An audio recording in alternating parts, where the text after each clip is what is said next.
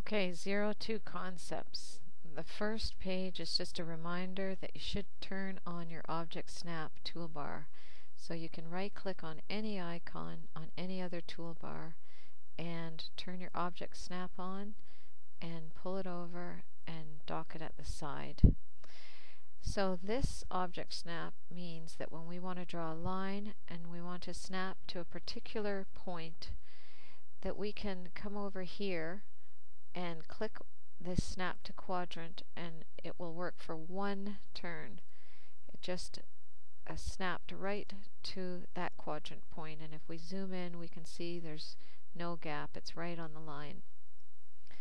So you want to have this all the time and you want to use it in conjunction with this running snap and if we go into these settings uh, the ones that you want running are usually endpoint, center's okay, intersection, this one you don't want running and say OK.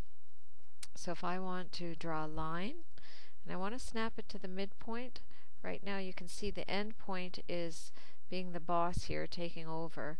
I want to override it with just uh, a midpoint snap. That's this one. I click it and you can see that triangle shape tells me that that's a midpoint snap. So all the pictures are shown on your handout of what the snap little visual cursor will look like when you have that particular snap on. If I want to snap to the center of a circle, that's the center snap. It's right here on the Object Snap toolbar. Uh, right now it's running, so it came on for me. Okay, if I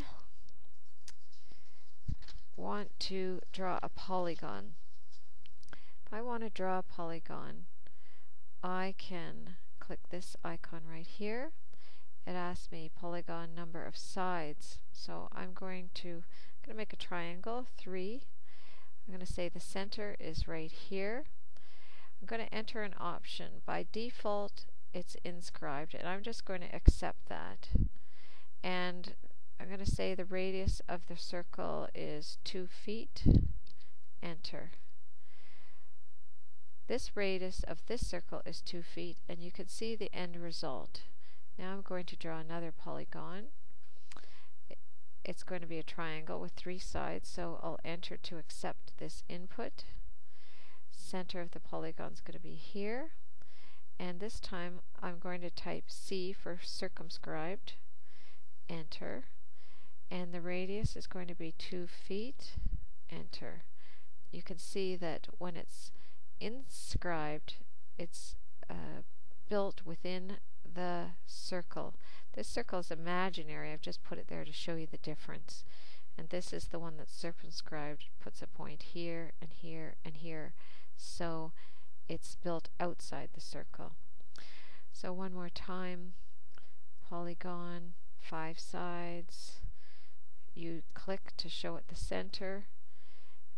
Uh, I'll do inscribed, I enter, radius 2 feet, enter. Done. Okay, the rectangle command. I'll do it the first method, rectangles using dimension option click the rectangle icon. Click on the screen where you want the rectangle to begin. I'm going to type D for dimensions down in the command line. Enter. The specify length, what they mean is tell it the distance the rectangle will be across the x-axis. So if it's 4 feet wide, I'll type that in, enter. The width, that what they what they're asking for is the measurement on the y. So I'm going to say 2 foot, enter. And the last thing it's asking for, specify other corner point. If I click now, that rectangle will land here. If I click now, it will land there, there, or there. It has the four choices, so you need one last click to land the rectangle.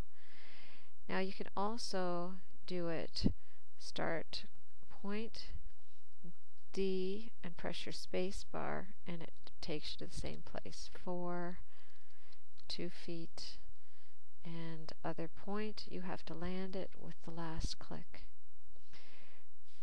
Making a rectangle with a relative input means that we have to tell it the x and the y, and this is how we do it.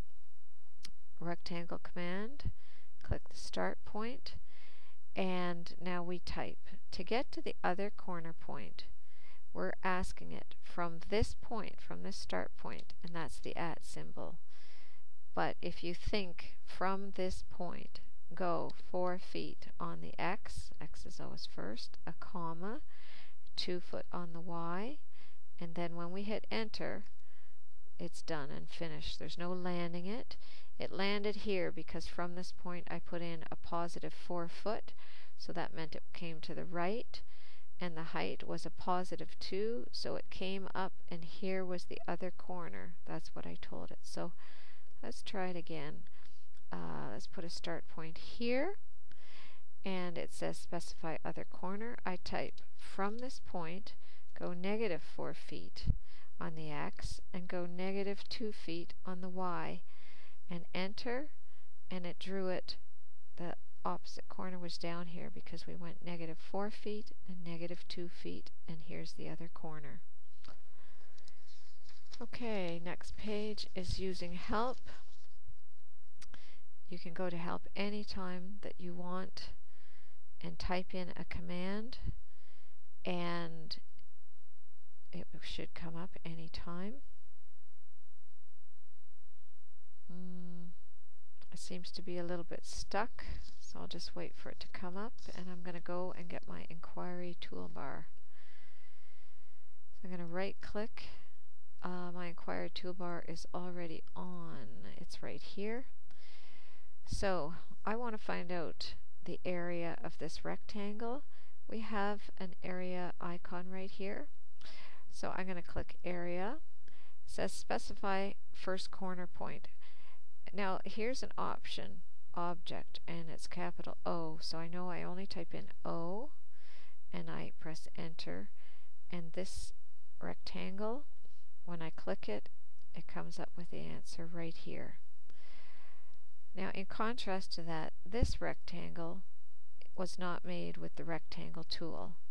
It's all separate lines. So to find the area I have to use a bit of a different method. I click the same area icon and this time specify first corner point. Here's the first point. Number two, number three, number four is telling me press enter for total. So once I've gone around, I press the enter key and here's my answer. You can tell which one is a rectangle which one with lines just when you put your cursor over it. They all get bold and you can see this is all made up of lines. If we want to know the distance of a line, we can use this icon, the distance icon. We click it, specify first point. So I want to measure from here, specify second point. I want to measure over to this point, and you click. And here's the distance here. It's not the delta x. Make sure that your command uh, window is three lines high or enough to see the distance there. And this icon here is a locate point.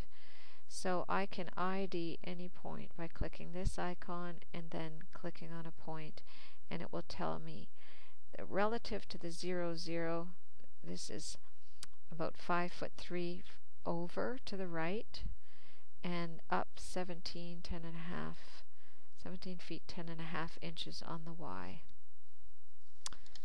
And that's it.